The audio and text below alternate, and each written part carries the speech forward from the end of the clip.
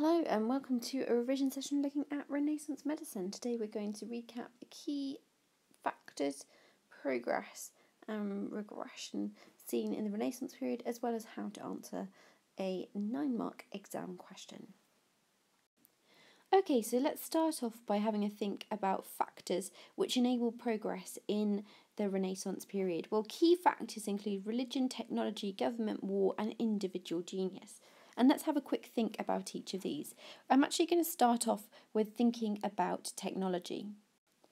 This image here, courtesy of Google Images, shows us a printing press, something which was developed for the first time in the Renaissance period. Uh, you can see here it's a huge contraption. Uh, effectively, it's about the, the height of a human being.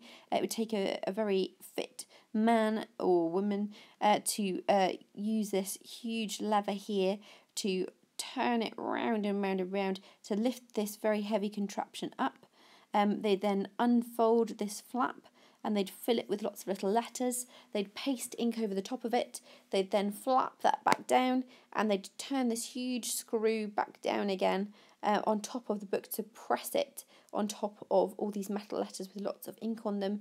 Uh, then they'd unscrew this again, uh, open it up, take the piece of paper out, put the next piece of paper in, screw the screw down again on top of the piece of paper and the letters with the uh, ink on them, unscrew it and take the page out again, uh, and so on and so forth. So they'd print all the page ones first, uh, and then all the page twos, all the page threes, etc. So it's not quite like the printers we have today. It would have taken a very long time uh, to print books and they were still very expensive. However, this was much quicker uh, and more efficient than writing everything out by hand. Uh, and there was also an availability to print images as well, um, and they do this by use of what was called a woodcut. So someone would engrave a piece of wood with an image, uh, and then it would work the same as the metal letters. They would paste ink over the top of the uh, wooden image uh, and then put the screw up and down, up and down uh, on top of the um, pages to print the images. So for the first time, uh, you could mass produce uh, or at least produce in much larger numbers uh, books uh, and images and things like that, um, which could spread around therefore much more quickly. So communication was much easier in the Renaissance than it had ever been before, which was fantastic. And we'll talk about why uh, further on in this clip. Um, also, another really important uh, thing that enabled progress at this time uh, was actually uh, religion in a way. Um, not necessarily religion itself, um, but uh, the fact that religion was declining in its uh, power at this time. So the Renaissance is the time uh, of Henry VIII splitting with uh, the Catholic Church and setting up um, the Protestant Church in England and proclaiming that he, as the king, uh, had all the power in the country and that he was the head of the church, and therefore any laws made by the king and the government uh, were more significant and more powerful uh, than the laws made by the church at the time. Uh, and this growing power of government and decreasing power of religious organisations meant that things like dissection were allowed for much more widely uh, for the first time. Dissections um, were initially obviously started off in the medieval period being allowed, but you had to do it to prove Galen's work. But with Renaissance, well, Renaissance literally means the rebirth of ideas. Uh, they started to discover that Galen and Hippocrates had, in fact, uh, told people to inquire more and be inquisitive and do lots of investigation and not just accept uh, their ideas as truth. Uh, many Islamic writers had actually uh, retranslated the work of uh, Galen and Hippocrates and discovered this and that it should be inquiry and not conservatism. Uh, that Hippocrates and Galen were suggesting people should use and this led to some really important discoveries by individual geniuses. Um, and individual geniuses in particular is something that I wanted to talk about uh, in terms of progress that was made during this period. So, so the two probably most important individual geniuses in Renaissance were uh, William Harvey, uh, who discovered things about the motions of the heart, and also uh, Vesalius. Both individual geniuses made important discoveries about anatomy and developed anatomical knowledge in the Renaissance period. Part of this was because of the discovery, or rather development, of new, more realistic styles of art, which made it easier for them also to spread their ideas, uh, as well as the fact that the church had declined in uh, their power and they were able to do human dissection. Uh, Vesalius is a really interesting individual in that uh, he initially, when he starts dissecting bodies, discovers that Galen's wrong uh, and is really confused about it. Uh, he initially doesn't actually allow uh, the person who he invites to illustrate his ideas uh, and his discoveries to actually publish what he has found in its entirety. Uh, the tabulae sex is a really good example of this, and you can see it here. Um, the liver has been drawn with six lobes on it, even though we know because Vesalius had done human dissection, he would have seen the liver had only two lobes. So why did he get the illustrator to draw it wrong? Um, and he's definitely done it deliberately. Uh, well, he did it in his earliest work, I think most likely because he was afraid of conservatism. If he had drawn the image so that he had shown that Galen was completely wrong about this, maybe he was afraid that people wouldn't accept his idea because Galen's ideas had been accepted for thousands of years. Um, so he deliberately actually drew things wrong. So initially, he, he doesn't actually make much progress for medicine at all in terms of knowledge of anatomy. It's only much later on, uh, with these continuous new styles of drawing and lots of public dissections, he feels confident enough to publish a book called The Fabric of the Human Body, in which he explains with lots of images and descriptions uh, exactly what Galen is wrong about, to do with lots of nerve systems inside of the body and lots of human organs as well. Uh, another individual genius, um, who we've mentioned briefly already as well, um, who discovered that Galen was wrong and uh, proved it as well, uh, is William Harvey, who uh, talked about the motions of the heart. Previously, Galen had said that the heart uh, moved blood um, in the body, but he believed that the body burnt blood up and that the liver created new blood. And Harvey proved that this wasn't the case, that the blood was pumped around the body by the heart uh, continuously. So, not like Galen suggested, just created blood, but it pumped it around the body and that it was circulating round, hence the motions of the heart. Uh, and it wasn't burnt up, it just continued being used and reused and removed around the body. Um, now, both of these discoveries are fantastic because they show a much better understanding of how the body worked. But both individuals faced quite a lot of conservatism. We've already seen that Vesalius was afraid even to publish his ideas initially. It takes quite a long time to publish them. And Harvey, when he does publish his ideas as well, uh, although he publishes them more quickly, um, actually didn't have his ideas fully accepted by universities who were teaching medicine for around 50 years. And even then, when his ideas were accepted, they couldn't really be used to treat people because they didn't have other ideas developed yet or discoveries made about things like blood transfusion. So it wasn't possible to do things like uh, heart transplants, for example, until they discovered blood transfusions and could uh, deal with the problem of bleeding that would be needed uh, to do much more detailed surgery at the time. So the print press uh, helped develop surgery, individual geniuses helped knowledge of anatomy, but in terms of actually being able to use this new knowledge to treat people, well, that idea wasn't here yet. And although it's true that uh, there was such thing as a microscope in the Renaissance, and they were able to see small things, uh, they were still quite blurry under microscopes. So uh, they weren't able to make discoveries about germs or microbes at this time. So miasma still continued to be a very widely spread theory. Um, in terms of things might be interesting to have a look at here. We've got a, a page from Harvey's book on the motions of the heart. Again, you can see realistic styles of art, uh, making it more possible to spread and communicate their ideas more widely. Uh, this is him uh, showing an illustration of uh, a proof that Harvey used that uh, blood was pumped around the body and not used up or um, kind of lost or burnt up. Where he proved if you put your finger on a vein or an artery that it would stop the blood from flowing in that area. So it's not being burnt uh, or used up, it just gets trapped in that area of the body. And when, let, when you let go, it continued flowing again. Um, Harvey's discovery about the motions of the heart was partly possible because of individual genius, because um, he used to dissect frogs, um, and he dissected frogs because they're cold blooded, poor little frogs. Uh, he dis- he dissected them whilst they were still alive because they were cold blooded.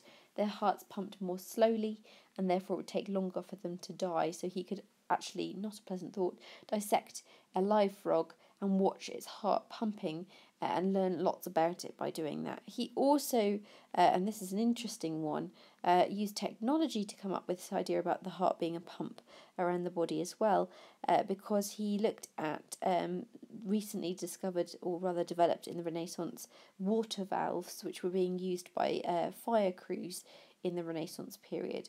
Um, and these water pumps uh, were had a valve in them, which meant that water would only go one way and not flow back the other way uh, when you were using some sort of a, a pump or a hose or something like that.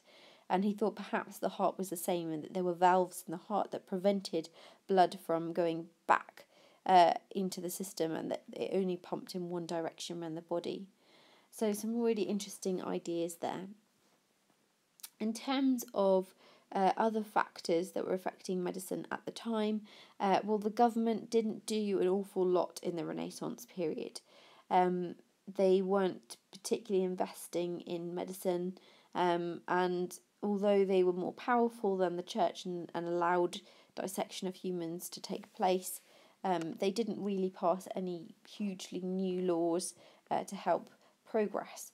Uh, it's true that we had the the the plague return um, in the 1600s, uh, and they did pass some new laws uh, to help spread the prevention, uh, so prevent the spread of the illness. For example, um, the painting of white crosses on doors, um, and they made laws about having watchers who were employed to make sure that people didn't leave the house of a person who was infected and had the white cross on the door uh, until a, a few weeks had passed or a few weeks after the last person had died in the house. Uh, no one was allowed to enter the house until a few weeks afterwards. That bodies had to be uh, buried a certain number of feet, six feet underground, and that burials should only happen at night time uh, and things like this. And all of these laws were passed. Uh, did show some improvement uh, to public health uh, because it meant that the government was taking responsibility uh, for um, people's health and was trying to improve it. So it was taking some minor action because they were really worried about the spread of this uh, pestilence or the plague that returned in the 1600s. Um, and um, there were also obviously wars going on in the Renaissance period as well, uh, and some people made discoveries, including Harvey himself, made discoveries as a result of war. He was a battlefield surgeon and he noticed the spurting of blood, as did Paré as well. Paré was another battlefield surgeon uh, who's known for developing ligatures, which were silk threads which could be tied around uh, blood vessels or arteries to try and stop or stem the bleeding. So, war did also cause some progress in medicine at this time. So, key progress that was made uh, was mainly in knowledge of anatomy uh, and uh, developing the, the spirit of inquiry and moving away from just accepting Galen and Hippocrates' ideas. Uh, but there was some regression or at least some continuity that continued in this period as well. So, conservative ideas, not everyone was willing to accept the ideas of Harvey and of Vesalius. It took a very long time for them to be accepted. And although science had started to help in that people were inquiring, um, actually, uh, there were still problems in that microscopes weren't strong enough to be able to see uh, really small things like bacteria and germs. Uh, and technology, uh, again, uh, microscopes weren't strong enough to be able to see those things. Okay, so what might you be asked to do with this information in your exam? Well, there's an example of a nine mark question for an Edexcel Medicine Through Time legacy spec. So for the 2017 uh, exam shown below. So we've got uh, the boxes below show two important discoveries in medicine. Choose one discovery and explain why it had such a limited impact on medical treatment at the time. So the key thing here is to break down the question really carefully. It says choose one discovery and explain why it had a limited impact on medical treatment at the time. So we need to think about why it had a limited impact on medical treatment. Uh, so let's have a look and see what uh, has been selected. And we can see here below uh, that we've got uh, it's William Harvey's discovery of the circulation of blood in the 17th century. So, why did this have a limited impact on medical treatment at the time? In order to get yourself top marks in this type of question, um, it's important that you do the following things. You need to write three paragraphs in answer to this question, and you need to be writing in these paragraphs about uh, the context of medical knowledge and treatment at this time, and also you need to think about factors which stopped uh, or prevented progress or prevented change. So, for example, um, you might start off with a brief introduction where you set out uh, what Williams Harvey's discovery was and, and what was the potential for it. Well, he discovered things like the motion of the heart and how that pumped blood around the body. Well, what could that be used to do? So, briefly in your introduction, say, you know, what potential was there with this new discovery? Discovering that the heart pumps blood around the body is an anatomical thing. Uh, what could happen from there? What new treatment or possible cures could there be once he discovered this? So, you've set out in your introduction uh, the new theory uh, that he had. Then you're going to give your first paragraph. So, uh, this had limited impact on medical treatment because, first paragraph, that's your point. Give your evidence. Why did it have a limited impact? Which particular um, factors stopped there being change? Um, so, could it be, for example, a lack of technology um, meant that they were unable to um, discover new things about blood groups at this time. So they didn't have powerful enough microscopes and uh, good enough technology to look at things like blood groups. And if you don't know about blood groups, then what does that mean you can't do? Well, you can't do blood transfusions. And if you can't do those, you can't use your knowledge about heart uh, to do heart surgery and things like that. Because you, if you're doing heart surgery, you're definitely going to lose a lot of blood. Uh, well, another reason why it's important, so you have your second paragraph, uh, and you're going to talk about either factors which stop change or you can use your context of medical knowledge and treatment at the time. So you might talk about a second reason why his uh, discovery of the circulation of blood was uh, limit had a limited impact at the time was because of conservative ideas. And you talk about the fact that you know that people didn't accept ideas willingly very quickly that it's very uh, it's very new this idea of challenging the ideas of Galen and Hippocrates and that even people like Vesalius uh, didn't initially want to publish their findings when they found out that Galen was wrong. And then you add a third a third a third and final paragraph uh, about why his ideas weren't accepted at the time. So think about further factors perhaps that inhibited his progress. Uh, even though it's true that there was a print press and that could be used to communicate ideas more quickly, it's still very expensive. It's a slow progress process even, um, and paper was still very expensive, and not everyone would have access to the information that was published in the universities, etc. etc. So the key to getting uh, nine marks out of nine for this type of question uh, is three paragraphs. Um, each paragraph should focus on a particular either factor or knowledge of the context of the time to explain why uh, the person, individual, or discovery had a limited impact on medicine at the time.